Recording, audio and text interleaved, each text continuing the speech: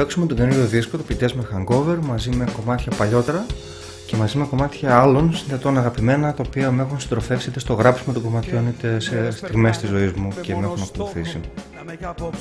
Δεν ξέρω, θέλω να καλέσω τον κόσμο στη δική μου διαδρομή και ελπίζω να είναι ενδιαφέρουσα. Δεν ξέρω αν θα σας εκπλήξω, το ελπίζω.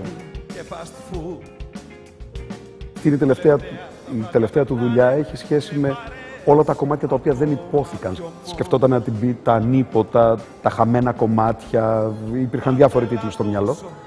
Ε, αλλά το Peters με Hangover νομίζω είναι ακριβώς ό,τι ήθελε αυτός ο δίσκος γιατί περιγράφει τη ζάλη του ταξιδιού του μέσα σε αυτά τα χρόνια. Είναι πολύ παράξενο που βρίσκομαι εδώ με την ιδέα του τραγουδοποιού. Γιατί συνήθως η καθημερινή μου τριβή και ανασχόληση με το χώρο είναι σαν βιολιστής μέσω της κρατικής ορχήστρας. Είναι κομμάτια τα οποία τα, έγραψα στην περιοχή, είτε στο μέγαρο μέσα, σε κάποιο διάλειμμα, είτε σε τσιρικά παλιότερα όταν ερχόμασταν εδώ στην περιοχή, πριν γίνει ακόμα το μέγαρο εκδρομή. Οπότε λίγο επιστρέφω στον τόπο του εγκλήματος κατά κάποιο τρόπο και έχει ένα κομμάτι που είναι πάρα πολύ οικείο και ένα κομμάτι που είναι πρωτόγονο, επειδή είναι ακριβώς αυτή η διαφορετική ιδιότητα. Είναι εξαιρετική μουσική όλοι. Μ' αρέσει πολύ πώς δένουν, πώς δένει ο ήχος έτσι, ο, των χόρδων ε, μαζί με, με, αυτό που αποκαλούμε rock band ή jazz band κτλ. Γνώρισα και τον Γρηγόρη Σημαδόπουλο, που είναι ένας εξαιρετικός πιανίστας και πολύ χαίρομαι που συναντηθήκαμε εδώ.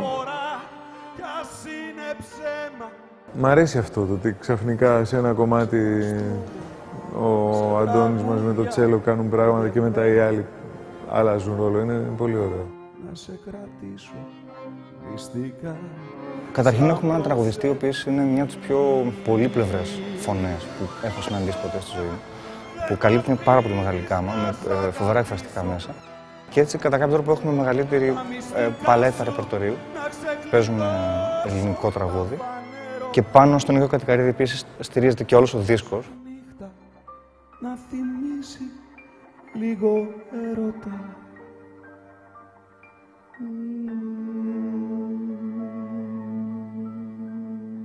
Η μπάντα έχει εξαιρετικά ιδιαίτερους μουσικούς.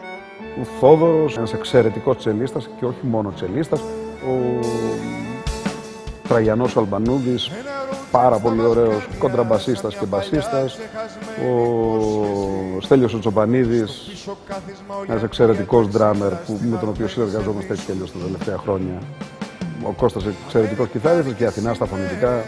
Σχηματίζουν στα μπουφάν των αγοριών στα σύνορα σκοτεινά καλυστία και καζίνο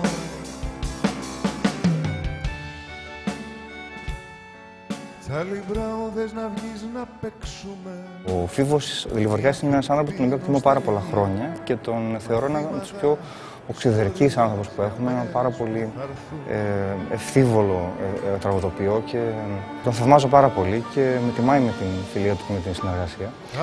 Ε, έχουμε κάνει διάφορες μικρές συνεργασίες μαζί στο παρελθόν, κυρίως σε δικά του πράγματα. Αυτή ήταν η πρώτη φορά που όμως που ε, έκανε, μου έκανε την χάρη να έρθει να τραγουδήσει στο δικό μου δίσκο και έχει μια συμμετοχή με το τραγούδι Charlie Brown. Ε, και σήμερα στην παρουσίαση του δίσκου, την επίσημη πρώτη, έχουμε τη χαρά να το φιλοξενούμε και τη σκηνή. Κάποια μέρα προς τα απογκρεμισμένους τείχους θα χορέψουμε αμέριμνα μέσα σε γειτονιές μαγικές σαν στοιχειωμένο δάσος εκεί που έχουν χαθεί τόσα παιδιά. Γατζωμένα από το όνειρό τους με τετράδια γεμάτα στίχους και κιθάρες στους ώμους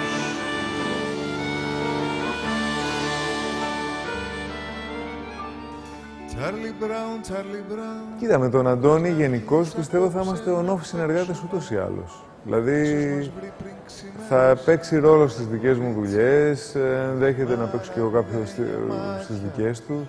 Ήδη μου είναι πολύ αγαπητό πρόσωπο. Του ανεφικτού